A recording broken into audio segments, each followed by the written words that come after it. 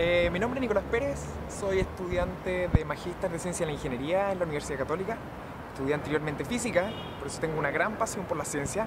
Y hoy día estamos acá en el ex Congreso Nacional en Catedral 1158.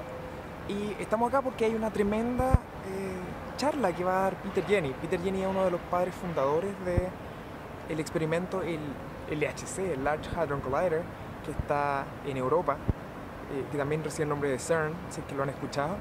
Y vamos a escuchar esta charla, queremos hacerle algunas preguntas y principalmente queremos entender por qué está en ciencia y por qué ustedes deberían seguir con ciencia. Chile está creciendo tremendamente en todos los aspectos científicos, estamos creciendo con mayor cantidad de físicos por cantidad de habitantes, estamos creciendo en mayor cantidad de biólogos, la inversión está aumentando, mucha gente está yendo al extranjero a estudiar, a Europa, a Australia, a Estados Unidos. Este es un punto súper importante para nosotros para generar más ciencia. Por eso hoy día vamos a prestar atención a esta charla y también les podemos contar un poco más de qué es el LHC.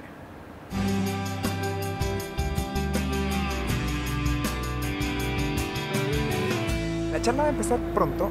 Vamos a ir adentro del ex congreso. Eh, ya vimos el salón de honores, muy bonito, tiene unas pinturas muy lindas dentro. Esperamos que la charla sea ilustrativa, que sea educacional, y que mantenga viva esta pasión por la ciencia que estoy seguro que no solo yo, sino toda la gente que va a estar presente acá y mucha más que no se enteró de esta charla, eh, tiene por todas estas investigaciones fundamentales. Así que vamos adentro y vamos a mirar esta charla.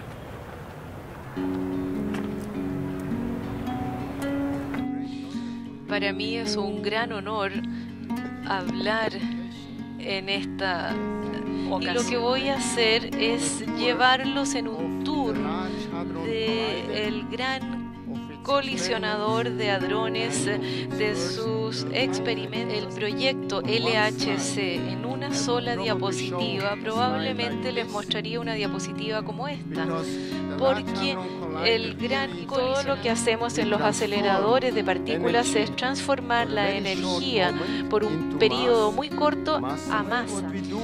Y en cierta medida lo que hacemos con los aceleradores de partículas es reproducir la física que ha ocurrido muy prontamente después del Big Bang, donde tenemos un equipo que es el colisionador o acelerador de partículas que tiene 27 kilómetros, donde se llevan los protones a la velocidad de la luz.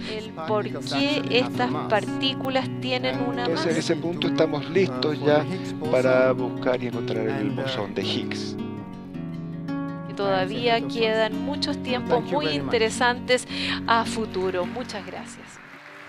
What I wanted to ask you is why are you in science? That was what was your real motivation initially? I like in a way to understand the universe.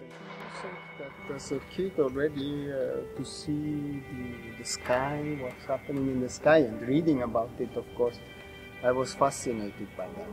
So I think that was really the entry into, into physics because uh, very quickly one understands that this must be the laws of physics which govern that. And then from there, I thought it would be very important to understand really the very basic, fundamental aspects of physics. And finally, I would like to ask if you could send a message to the young physicists or even scientists I'm in my sixth year studying sciences, and I couldn't be more in love with it. But what could you say to the people that are starting, maybe second year?